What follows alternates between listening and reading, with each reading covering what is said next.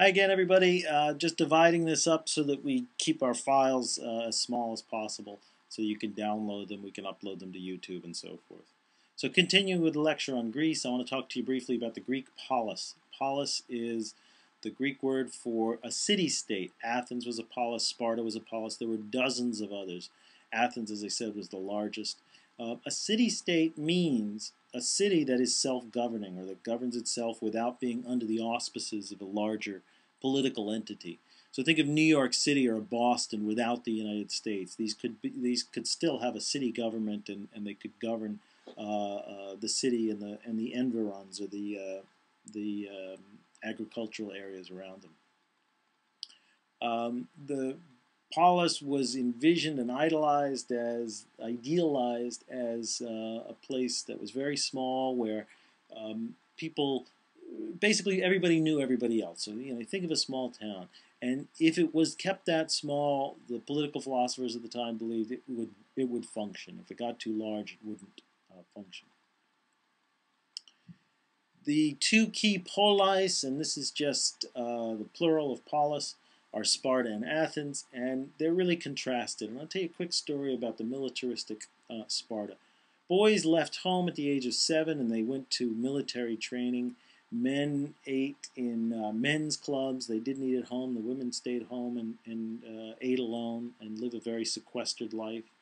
Um, but there's a great story about a boy in one of in, in, in the Spartan Academy, if you will. Um, and one of the things they did was keep them keep these boys very hungry. Uh, the idea was that they would learn uh, to survive by their wits, to struggle, to steal food wherever they could, and to be tough, right? Uh, boot camp kind of thing. Well, the story is this boy caught a ferret, and just as he's getting ready to dispatch the ferret and, and prepare him for a meal, uh, he's called to attention. He's called to uh, uh, stand at attention with everybody else in the yard.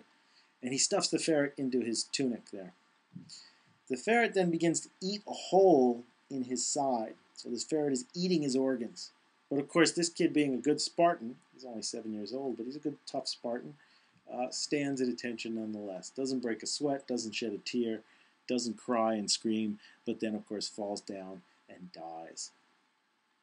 Now, the point of the story is supposed to be about the stoicism or the Spartan nature of the Spartans. In other words, how tough they were and how they could survive on nothing. Uh, but really, you have to imagine what life was like if a kid was hungry enough to want to eat a, uh, a ferret. Um, okay. So, militaristic Sparta uh, became increasingly militaristic because the whole concept here was that these kids would learn to work together. By the time they were 18, they would begin to train together militarily. They would form a hoplite squad, a tough, tight, squad of, of shield and sword bearing foot soldiers and go out and conquer people. And as they conquered more people, they made them their servants, they made them their slaves. And in, as a result, they began to fear an uprising. Because they fear an uprising, of course, they become more militaristic, and it's this vicious cycle. Typically, Sparta is contrasted with Athens. Athens we think of as the good guy in this story. Athens is the place that is the root of democracy.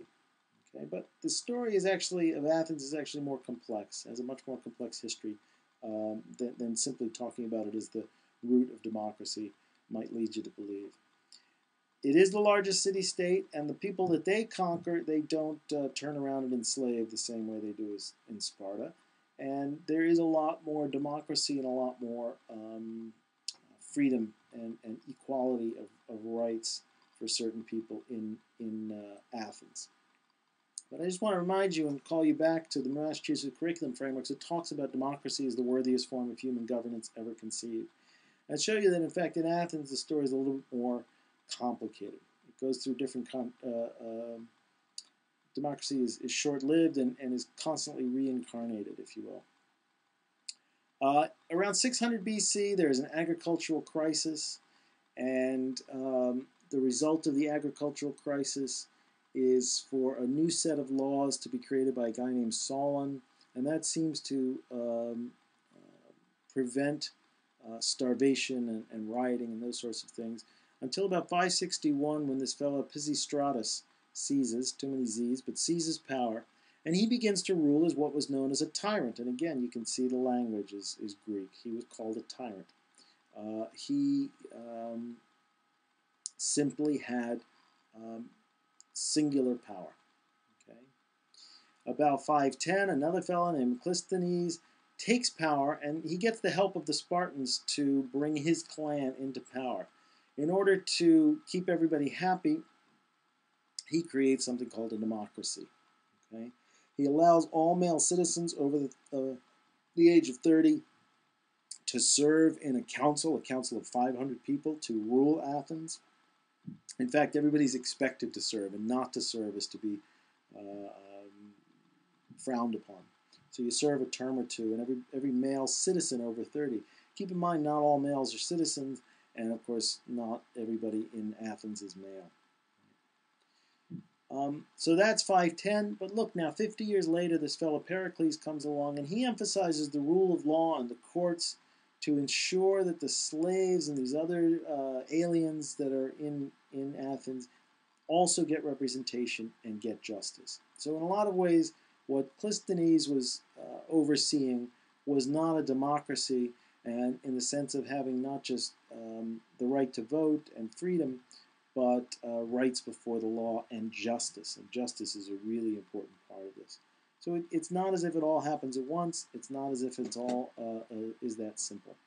And then finally, uh, two historians to quote here uh, to suggest that in a lot of ways it wasn't a democracy. Thucydides, uh, one of the first historians, wrote, It was in theory a democracy, but in fact it became the rule of the first Athenian. And when he says first Athenian, he means uh, the best Athenian.